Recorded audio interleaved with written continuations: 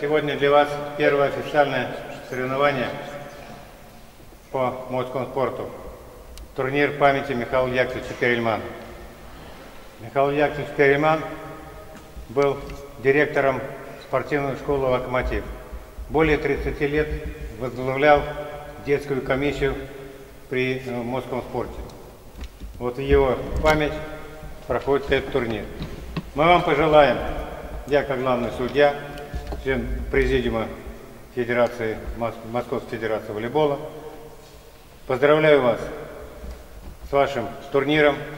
Дай Бог, чтобы все у вас было хорошо. Пусть победит сильнейший. И от этих соревнований я вам пожелаю дойти до олимпийских медалей. Я вас поздравляю с началом соревнований.